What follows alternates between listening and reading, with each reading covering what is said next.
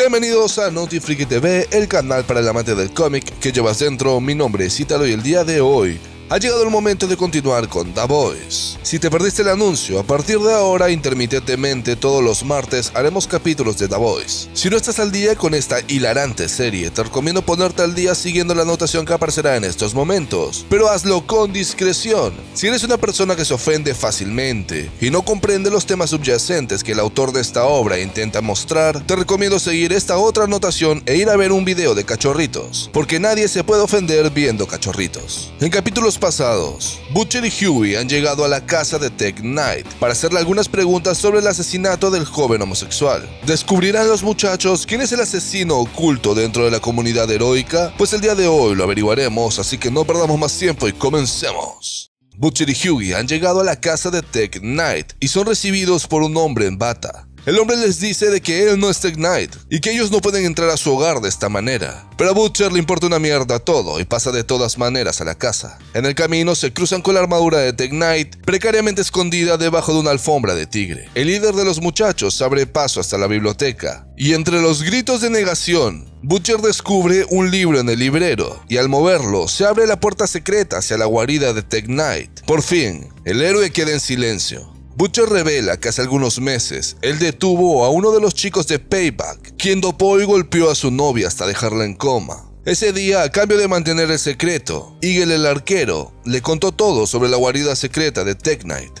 El héroe no puede creerlo, pero Butcher lo tranquiliza diciéndole que solo quiere hacerle algunas preguntas. Además, Hughie interrumpe la conversación para decir que necesita ir al baño urgentemente. Tech Knight señala hacia un lado y le indica a Hughie que vaya a buscarlo por allá, habiéndose quedado a solas. Butcher comienza el interrogatorio. El líder de los muchachos quiere hablar un poco sobre Swingwing.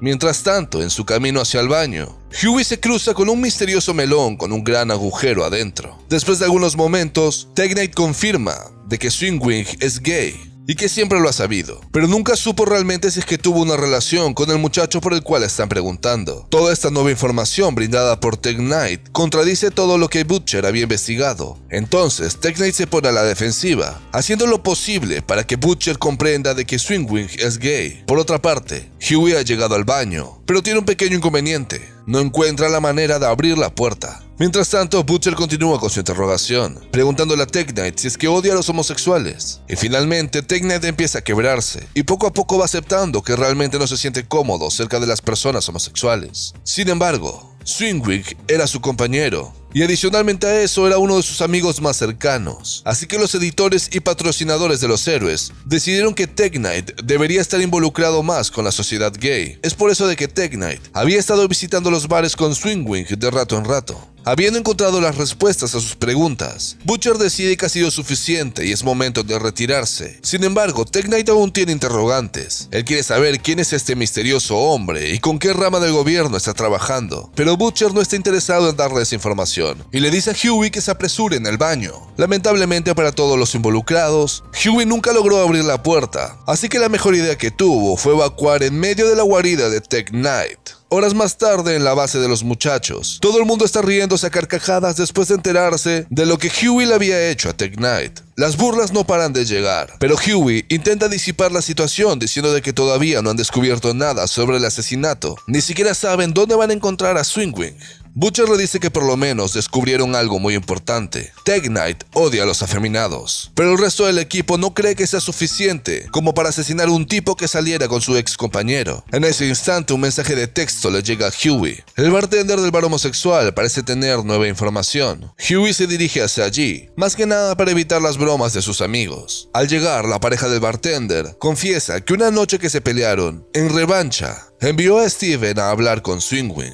Hace algunas semanas, de casualidad, el enamorado del bartender descubrió la identidad secreta de Swingwing y con esta información mandó directamente a Steven en búsqueda del héroe. Él no quería que el muchacho salga lastimado y ni siquiera sabía cómo reaccionaría Swingwing al percatarse de que alguien ha descubierto su identidad secreta. En vista de que la pareja empieza a pelear en plena calle, Huey ha decidido que es momento de retirarse. Debe regresar a los cuarteles generales de los muchachos. Pero cuando llega emocionado de contarles a todos las nuevas noticias que ha descubierto, Butcher tiene el periódico del día de hoy. En primera plana, hablan sobre Tech Knight, el héroe homosexual, quien intentó violar a su mayordomo. Toda la información viene directamente de la víctima. El mayordomo, después de renunciar, fue directamente a los periódicos para incriminar a Tech Knight. Sin embargo, para Huey las cosas no cuadran. Todo esto indicaría que Tech Knight también es gay, a pesar del repudio que mostró durante su entrevista. Entonces Butcher propone que el asesino de Stephen es Tech Knight. De seguro lo vio con Swingwing y tuvo celos. El líder de los muchachos dice que es momento de ir a visitar a Tech Knight nuevamente, pero Huey no quiere hacerlo. La última vez que estuvieron ahí, observaron todas las armas que el héroe tiene. Aún así, Butcher insiste, ya que Tech Knight no es un peligro si es que no está dentro de su armadura. Él nunca ha tomado el compuesto B. Es solo un tipo millonario que tiene poderes por los artilugios que usa. En ese momento, Huey pregunta si es que hay necesidad de herirlo, ya que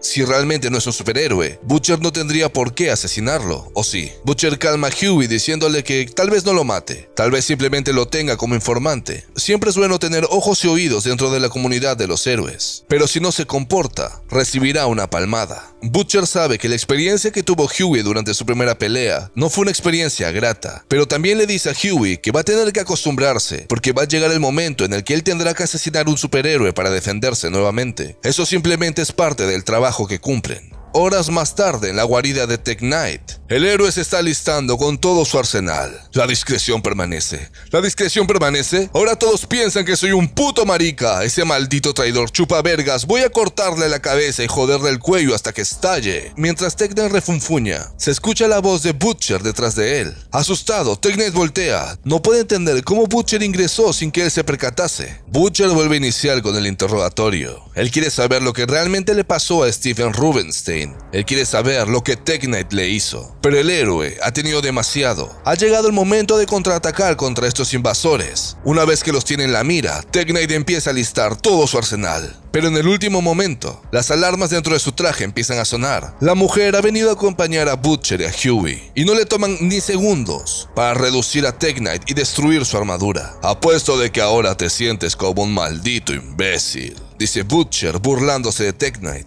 Momentos después, el héroe ha sido derrotado, y después de la golpiza que ha recibido, está listo para contar la verdad. Swingwing no es gay, él es más macho que cualquiera de los hombres en esa habitación. La única razón por la cual Tech Knight le dijo eso a Butcher era porque no quería ayudarlo en su investigación. Pero ha llegado el momento de contarles toda la verdad. Tech Knight le cuenta a los muchachos sobre su trastorno con los agujeros, esa necesidad innatural de querer follar cualquier hueco que ve. Además les cuenta de que Swingwing fue y le contó a los siete sobre sus problemas, y gracias a eso, cualquier oportunidad de unírseles ha quedado por los suelos. Pero esa no es la única razón por la cual Swingwing traicionó a Tech Knight. Él también quería abrirse paso y sacar a Tech Knight de la ecuación en lo referente a la villana llamada The Talon. The Talon era una de las personas que saltan entre luchar contra el crimen y cometerlo. Algunas veces apoyaba a los héroes y algunas veces robaba cosas. Tech Knight y Swingwing siempre estaban corriendo por los tejados tratando de detenerla. Eventualmente se percataron de que realmente eran tres amigos jugando por la ciudad. Hace algunos años, The Talon apareció en la mansión de Tech Knight y el héroe no se pudo resistir así que la hizo ingresar. Momentos después, la mujer le pidió que llamara a Swingwing, que deberían tener una reunión como antes. Los tres individuos empezaron a tomar y a charlar, a recordar viejos tiempos y a ponerse al día sobre el mundo de los villanos y de los héroes. Ese fue un gran momento para los tres, pero la noche avanzó y los tres empezaron a ponerse más ebrios. The Talon y Swingwing empezaron a besarse, y Tech Knight dijo, bueno, ha llegado el momento de irme, pero la mujer lo detuvo. Y antes de que lo supiera, los tres estaban envueltos en el acto de la carne. Tech Knight no podía creer lo que estaba pasando. Lo único que le pasaba por la cabeza en esos momentos era, no lo mires a la cara. Pero por más que el héroe se lo repetía mentalmente incontables veces, era demasiado tarde para hacer algo. El rostro de Swingwing quedaría grabado de por vida en la mente de Tech Knight.